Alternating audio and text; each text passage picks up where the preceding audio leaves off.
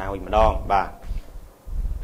របួសធ្ងន់ស្រាល2នាក់ក្នុងករណីម៉ូតូបុកម៉ូតូបាទក្នុងទិសដៅបាទខ្វែងគ្នាម៉ូតូពីរគ្រឿងបានបុកគ្នាក្នុងទិសដៅបាទខ្វែងគ្នាបណ្ដាលឲ្យមនុស្ស2នាក់បានរងរបួសធ្ងន់និងស្រាលហេតុការណ៍គ្រោះថ្នាក់ចរាចរណ៍មួយនេះបានកើតឡើងកាលពីវេលាម៉ោង10:30នាទីល្ងាចបាទសំទោសគឺម៉ោង10:30នាទីព្រឹកថ្ងៃទី17ខែកញ្ញាឆ្នាំ2014នៅលើកំណត់ផ្លូវជាតិលេខ5ក្នុងចន្លោះគីឡូម៉ែត្រលេខ89និង90 នៅចំណុចបាភូមិទួលកន្លាញសង្កាត់កំពង់ឆ្នាំងក្រុងកំពង់ឆ្នាំង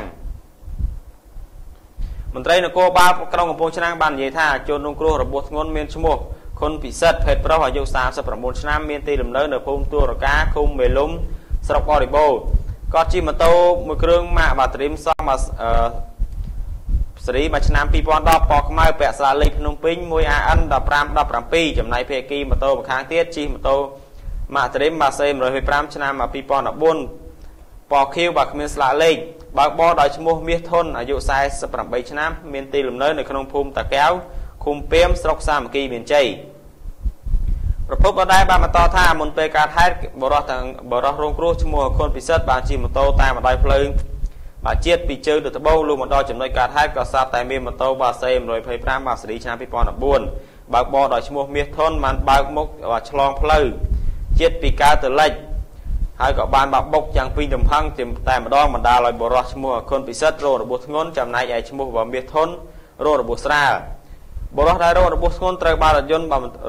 មន្ទីរពេទ្យបានដឹកយកទៅសង្គ្រោះនៅមន្ទីរពេទ្យខេត្តចំណែកឯម៉ូតូទាំងពីរគ្រឿង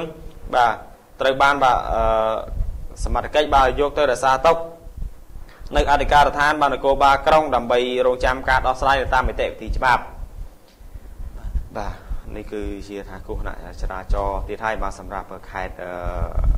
បាទកំពង់ឆ្នាំងបាទគឺវគ្គមុននោះគឺយើងខ្ញុំទាំងពីរនាក់បានជម្រាបនៅថារបាយការណ៍បាទបូកសរុប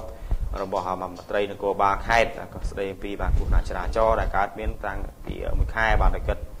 ចាប់ពីថ្ងៃទី11ខែសីហារហូតដល់ថ្ងៃទី15ខែកញ្ញាបាទតែឥឡូវនេះគឺសម្រាប់ដល់ថ្ងៃទី16ដល់17គឺកើតមានបាទគ្រោះថ្នាក់ចរាចរណ៍ជាបន្តទៀត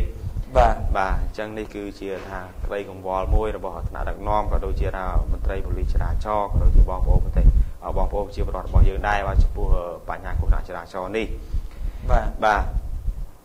ចឹងទេបាទគឺមានតែយើងទាំងអស់គ្នាទេទៅអាចថាចូលរួមក៏ដើម្បីកាត់បន្ថយបានបើសិនជាយើងម្នាក់ម្នាក់បាទមានស្មារតីក្នុងការបើកបរបាទមានការប្រុងប្រយ័ត្នបាទគ្រប់សិទ្ធគ្នាទៅវិញទៅមកនោះ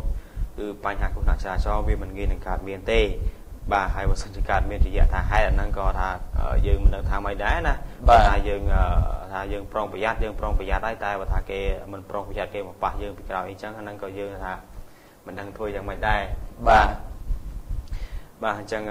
នេះគឺជាថាព័ត៌មានមួយដែរដែលយើងខ្ញុំបាទយកមកជម្រាបជូនបាទតទៅទៅនឹងខាងខេត្តកំពង់ឆ្នាំងបាទបាទបើយើងសរុបមកទៅគឺពីករណីបន្ថែមទៀតដែរសម្រាប់ខេត្តកំពង់ឆ្នាំងខេត្តថ្មីបាទ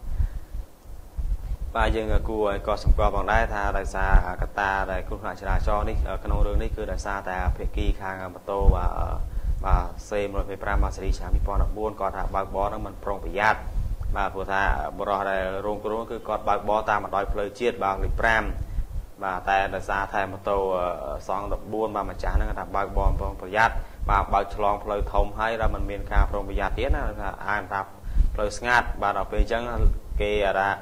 ខាងជនរងគ្រោះក៏ខាងផ្លូវអតិភិបខាងគាត់ឬមួយណាមួយមើលទៅរឿងស្ងាត់ដល់ពេលអញ្ចឹងដល់ផ្លូវចំណុចផ្លូវកែងហ្នឹងវាមិនអីទេតែខាងនោះវិញក៏គិតដូចគ្នាខាងមើលទៅដល់រឿងស្ងាត់ដូចគ្នាអញ្ចឹងទៅមិនបាច់មើលលិចមើលកើតមើលនាយមកអាយទេបាទដល់ពេលម្នាក់គិតអញ្ចឹងម្នាក់គិតអញ្ចឹងវាធ្វើឲ្យកាករណីគ្រោះថ្នាក់ចរាចរណ៍ហ្នឹងធ្វើថាកើតឡើងបាទហើយក៏បណ្ដាលឲ្យ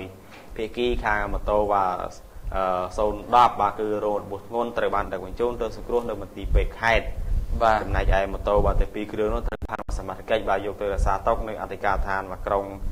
កំពង់ឆ្នាំងដើម្បីរងការរងចាំការដោះស្រាយទៅតាមនីតិវិធីច្បាប់តាមពេលក្រោយបាទបាទ